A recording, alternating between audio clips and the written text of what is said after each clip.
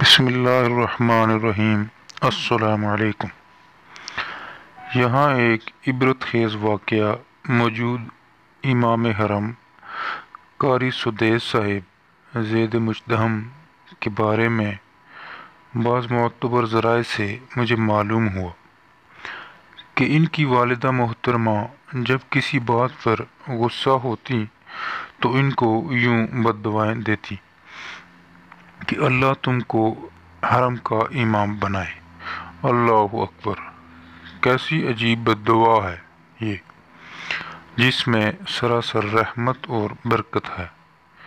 یہ دراصل اسلامی تعلیم و تربیت کا اثر ہے۔ پھر دیکھیے، اللہ تعالیٰ نے ان کی یہ دعا قبول بھی فرما لی۔ اور قاری سدیس کو امام حرب بھی بنا دیا۔ اور ساری دنیا میں ان کو شہرت بھی دے دی۔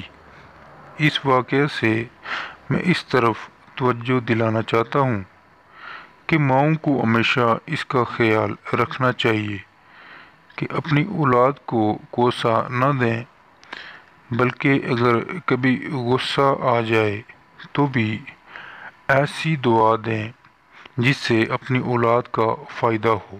جیسا کہ قاری سدیس صاحب کی والدہ نے کیا۔